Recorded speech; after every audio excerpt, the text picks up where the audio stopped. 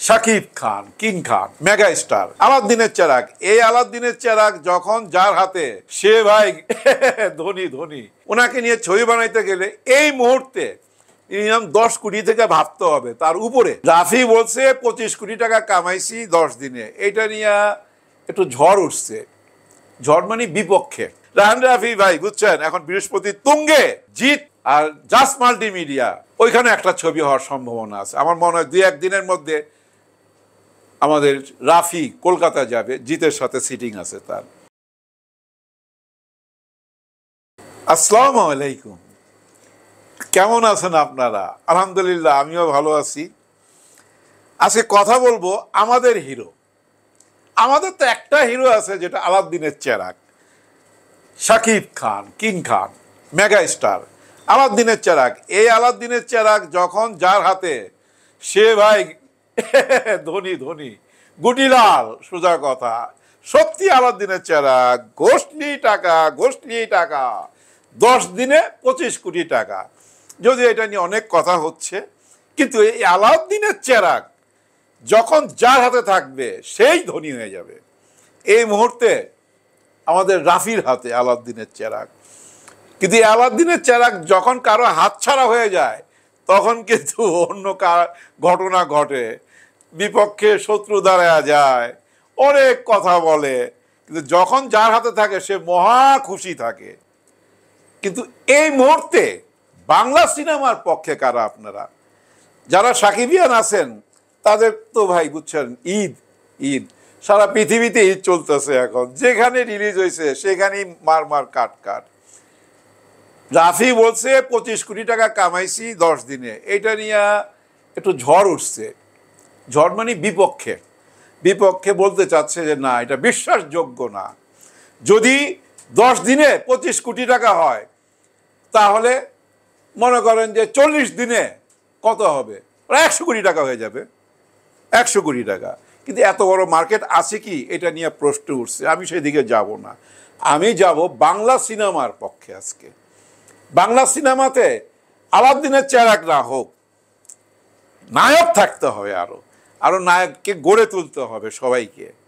এই মুহূর্তে দেখেন, আমার দৃষ্টিতে যে কজন নায়ক আছে, আমি ধরে ধরে নেই। প্রথমে আমি আনব শাকিব খানকে উপরে রেখে। শাকিব খান এত উপরে, মনে করেন যে একশো তলার উপরে আছে। এখন শাকিব খানকে যদি উপর থেকে নিচে নামাইতে চান, তাহলে আমাকেও তো একশো তলা যাইতে হবে। একশো তলা যায় না, তারা ধাক্কা দিতে হবে। কিন্তু আমি নিচে থেকে তো আর তারা ধাক্কা দিতে পারব না। তাই সিঁড়ি উপরে উঠতেছে যারা সেই সব নায়কদের কথা আমি বলতেছি। আরফান নিশো, সুরঙ্গ দিয়ে আলোচনায় আসছে। শুধু আলোচনা না, তুমুল আলোচনায়। ওনারও ফ্যান ফলোয়ার আছে। ওনার হাতে এই মুহূর্তে সিনেমা দুইটা। একটা রায়হান রাফির আর একটা কার আমি জানি না। খুব সম্ভব মিডিয়ারই অন্য কেউ হবে। সত্যি আমি জানি না। রায়হান রাফির ওসিয়ত আসবে। রায়হান রাফির কিন্তু আরেকটা ছবি রেডি আছে। সেও আমাদের বাংলাদেশের একজন সম্ভাবনাময় হিরো আরিফিন শুভ। ছবির নাম, আপনারা দেখছেন তার বুকে লেখা নূর, যখন এই তুফান দেখতে আসছিল। শাকিব খানের পায়ে ছুঁয়ে সালাম করাতে অনেক সমালোচনা হয়েছে, আলোচনা হয়েছে, কারণ সিনিয়র পার্সন দাঁড়ানো ছিল পাশে, তার পাঁচ হয় নাই। সাকিবের পাঁচ হয়েছে। ভাই, কে কার পাঁচ হইবে এটা তো তার ব্যক্তিগত ব্যাপার। এটা নিয়ে প্রশ্ন তোলা উচিত না। নূর ছবির ডাইরেক্টর কিন্তু রায়হান রাফি। ছবিটা কিন্তু বয়স হয়ে গেছে, আড়াই তিন বছরের উপরে হবে আমার মনে হয়। খুব সম্ভব। হয়তো দুই একদিনের কাজ বাকি আছে। আমি জানি না রায়হান রাফি কেন এই ছবিটা শেষ করতেছে না। অনেকে কানাঘুষা করে এটা উনি রিলিজ দিতেও পারে, নাও দিতে পারে। না দেওয়ার তো কোনো কারণই নাই, কারণ প্রডিউসারের টাকা, সে তো রিলিজ দিতেই হবে। সবাই বলা বলি করতেছে, রায়হান রাফি কেরিয়ার হুমকির মুখে পড়বে। আমি এটা বিশ্বাস করি না, কারণ আরিফিন শুভর গ্রহণযোগ্যতা আছে। ঢাকা অ্যাটাক তার প্রমাণ। এরপর আসি আমরা সিয়ামের কাছে। সিয়ামও কিন্তু সম্ভাবনাময় হিরো। জঙ্গলি ছবিটা রিলিজ হইলে বোঝা যাবে ওনার দৌড় কতটুকু। কিন্তু একজন ভালো আর্টিস্ট আমি তার ছবি দেখছি, আমার ভালো লাগছে। আরেকজন আছে, অনেকগুলো ছবি করছে, সেও খুব ভালো আর্টিস্ট শরীফুল রাজ। রাজ তার ব্যক্তিগত জীবনের চড়াই উতরাই পার হয়ে যে কয়টা ছবি করছে কাজের বোঝায় যায়, ওই ছবিগুলো দেখলে বোঝা যায়, কাজের প্রতি তার খুব মন মন দিয়ে কাজ করে গেট আপ টেট আপ সব কিছু মন দিয়েই করে সে। আমি এই কয়জন নাম নিলাম কেন? বাংলা সিনেমার না আরও নায়ক দরকার, নাহলে ছবি হবে না। শাকিব খানের কারণে অনেক প্রডিউসার সিনেমা জগতে আসতেছে। বুঝেনি তো, একটা ছবি যখন বিরাট ব্যবসা করে, তখন অন্য অন্য প্রডিউসাররা উৎসাহ পায়। প্রডিউসার তো আগেও ছিল আমাদের বাংলাদেশে, অনেক প্রডিউসার আছে, যারা ছবি বানায় না, কিন্তু ইদানিং সাহস পাচ্ছে।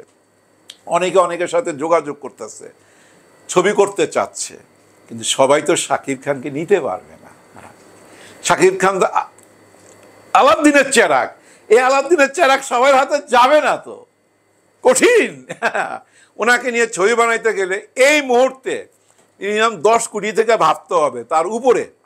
দশ কোটি মাথায় নিয়ে প্রডিউসারকে নামতে হবে যে হ্যাঁ আমরা সিনেমা বানাবো। কারণ উনি তো নিয়ে যাবে আড়াই কোটি টাকা, তিন কোটি টাকা। এর নিচে কি উনি রাজি হবে? রাজি হবে না। কারণ উনি তো আলাদিনের চেরাক ঘষা দিলেই টাকা। কিন্তু এভাবে তো একটা ইন্ডাস্ট্রি বাঁচতে পারে না, এটা আপনারা আমার সাথে একমত হবেন। এজন্য আমি মনে করি সবাই উচিত, যা, যেসব প্রডিউসার আছেন আপনারা আপনারা যদি চেষ্টা করেন, এই যে আমি যে কয়টা হিরোর নাম বললাম, ইনাদের নিয়েও কাজ করে এই ইন্ডাস্ট্রিকে বাঁচাতে পারেন। এবং আরফান নিশো একটা কথা বলছে, যেটা আমার সবচেয়ে বেশি ভালো লাগছে, যে আমি ওটিটিতে নাই, নাটকে নাই। কোনো কিছুতে নাই, আমি শুধু সিনেমা করব। এটা আমার ভালো লাগছে। যদি উনি সিনেমাই করে, তাহলে ভালো করবেন। কারণ সুরঙ্গতে প্রমাণ রাখছেন উনি। সিয়াম তো হিট ছবি দিছে, আবার ফ্লপ ছবিও দিছে। কিন্তু জঙ্গলি আসতেছে। জঙ্গলি কি করে এটা দেখতে হবে? শরীফুল রাজের কবি আসতেছে, ইদিকা পাল নায়িকা, সেই প্রিয়তমা। প্রিয়তমার নায়িকা ইদিকা পাল, আমাদের শরীফুল রাজের সাথে। কবি ছবির নাম, ছবিটা প্রায় রেডি এই ছবিটাও তার ভাগ্য বদলে দিতে পারে। একটা ছবি ভাই, খালি হিট দরকার, একটা ছবি হিট হইলে বুঝছেন, কপাল চমকা যায়। হ্যাঁ একদম চমকা যায় ভাই।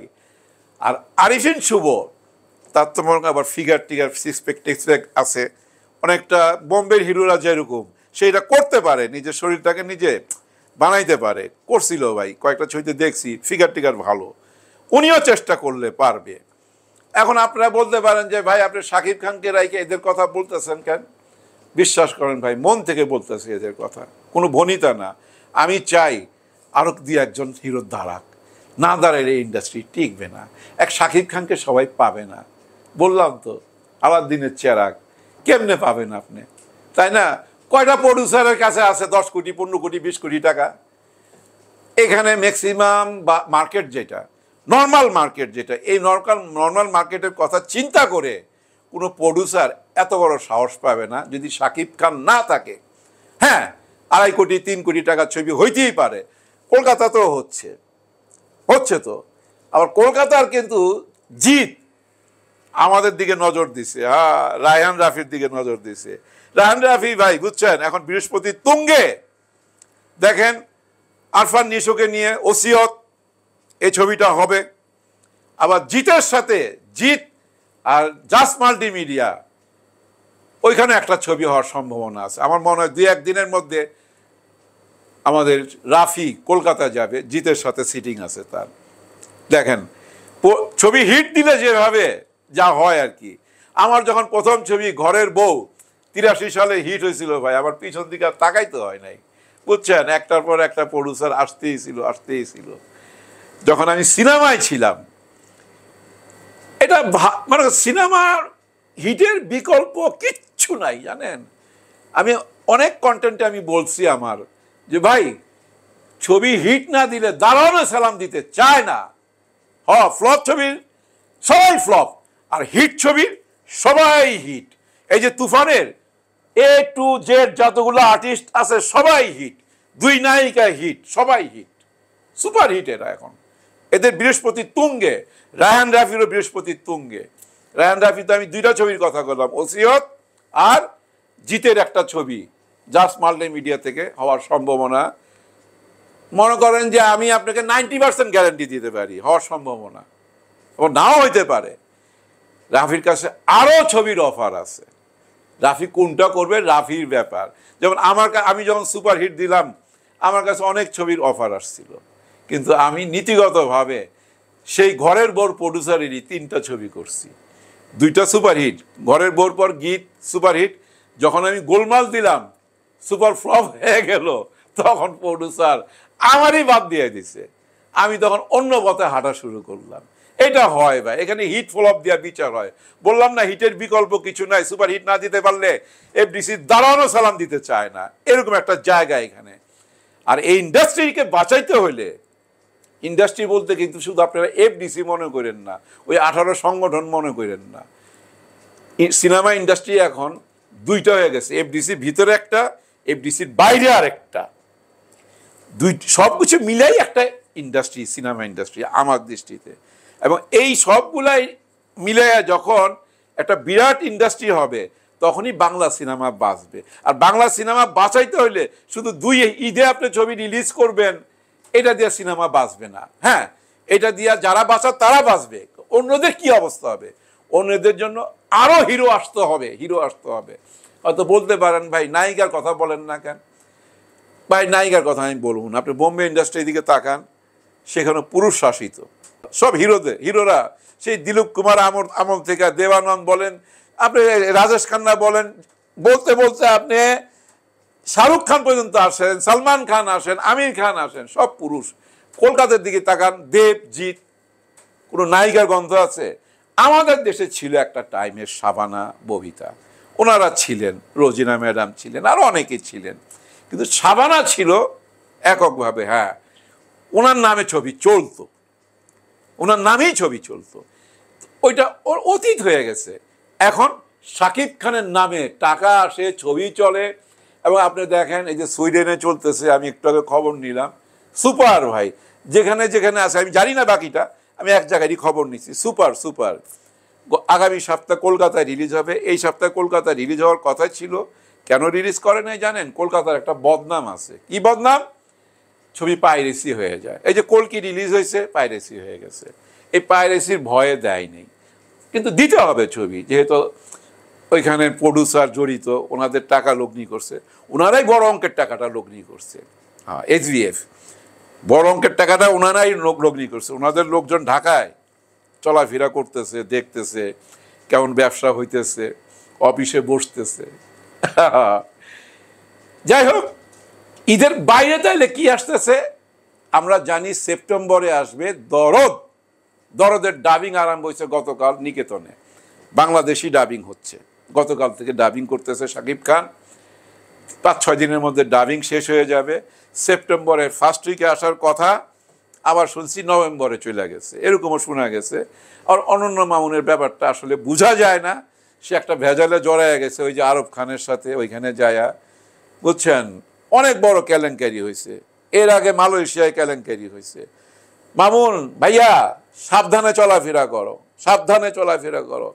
এভাবে বদনাম কামানোর দরকার নাই, ভেজালে যাওয়ার দরকার নাই। তুমি একজন ফিল্ম ডাইরেক্টর না? আরব খান জানো তো একটা বিতর্কিত মানুষ। আর এমন না যে তুমি তাকে চিনো না। তার সম্বন্ধে অনেক কিছু জানছো। তাকে কার্ড দিছে, সে দেখাইছে অনলাইনে যে আমাকে একশোটা কার্ড দিছে, আমাকে দাওয়াত করছে, আমাকে ভিডিও করতে বলছে। এবং মামুন যায় ওইখানে ক্ষমাও চাইছে। ক্ষমা চায় ভালো করছে। আমি ভয় লাগতেছিল। আমি ওই যে ওদের আড্ডার মধ্যে ছিল না মামুন? মামুন আমি খুব ভয় পাইতেছিলাম যে তর্কে বিতর্কে জড়ায় গেলে এই লোক কি করতে পারে? আমার আসলেই ভয় পাইতেছিলাম। কিন্তু মামুন খুব টেকনিক্যালি সুন্দরভাবে জিনিসটা ম্যানেজ করছে। ক্ষমা চায়, চারবার ক্ষমা চাইছে ছয় মিনিটের ভিডিও ক্ষমা চাওয়াটা ভালো হয়েছে কারণ এদের সঙ্গে মিশা দরকার নাই।